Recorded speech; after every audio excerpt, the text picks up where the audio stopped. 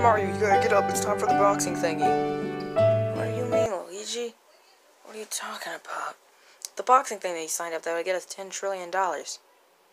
Oh, that thing, Luigi. Okay. Alright, Luigi. So are you gonna actually take me to the training, or are you just gonna stand here and make me look at your beautifully blue car all day? Yeah, Mario, I'm gonna help you. But first, you have to tell me, where do we go to get to this training thing?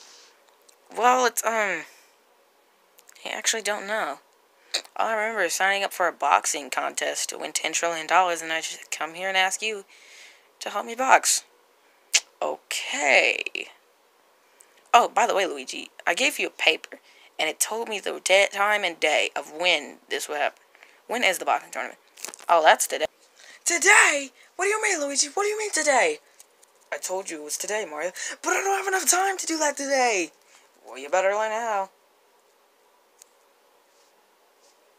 How am I supposed to train in order to fight people like Iron Man or Woody or SpongeBob or Mike Tyson or Goku in one day? I don't know, Mario. Better just try. Fine. Alright. So, just take me to a random training area. Okay.